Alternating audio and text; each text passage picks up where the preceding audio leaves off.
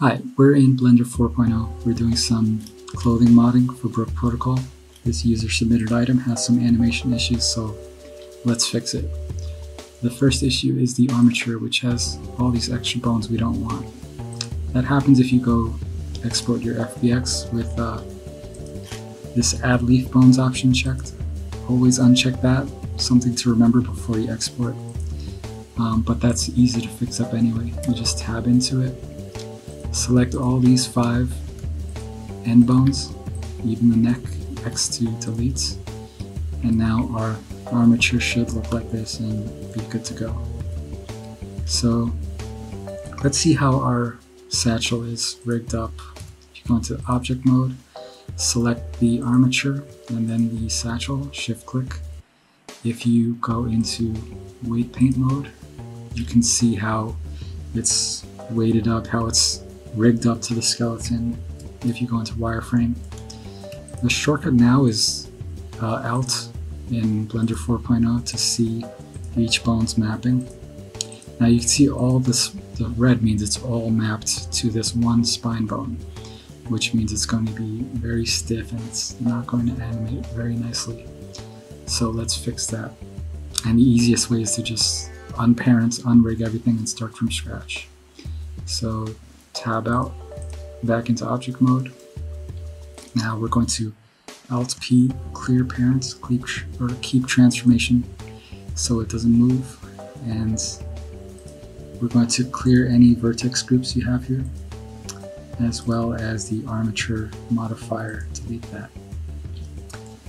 Um, so now everything is ready to be rigged up, but we can see one issue is that these the strap faces are are really big, but they have no subdivisions. They have no breaks for bending or animation. So let's add a few loop cuts here to fix that. So if we have that selected, go into edit mode. L is, I think, no, it's, what is that, control R? Whatever, just select loop cut and drag these edges to around the same place as a bone or this, right, this edge here and do it four times for these other edges. Make sure they kind of line up. It's, it doesn't have to be exact. But here's one on the back for this spine bone and another one up here.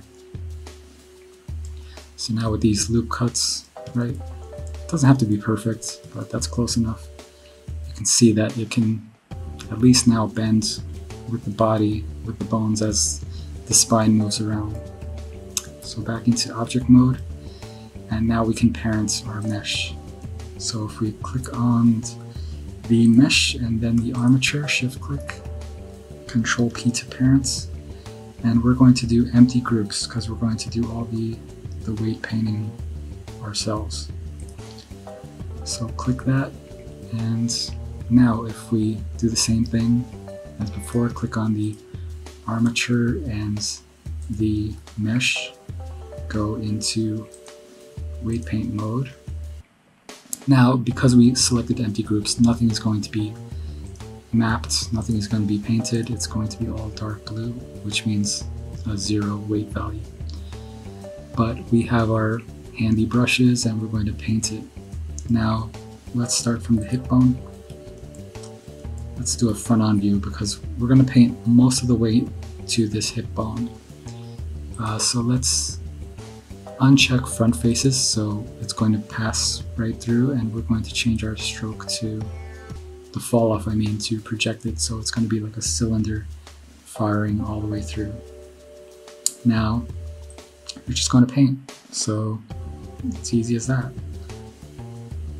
Basically the entire satchel is going to be painted to this this hip bone and when we have that finished, I'm going to select the next bone up, this middle area.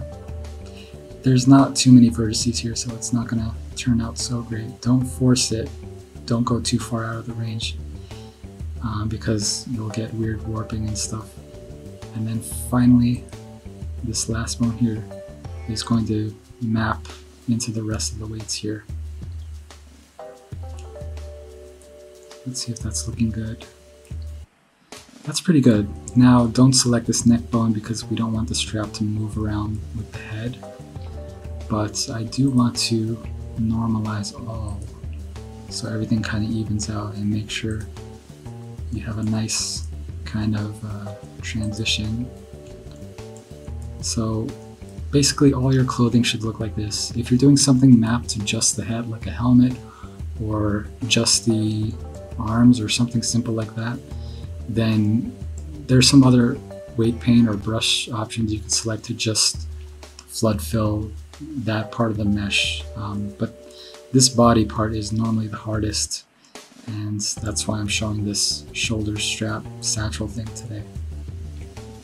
Now, that's pretty much it. So if you tab out, your mesh should be good to go. Go into export, FBX, make sure again you have this unselected and export that.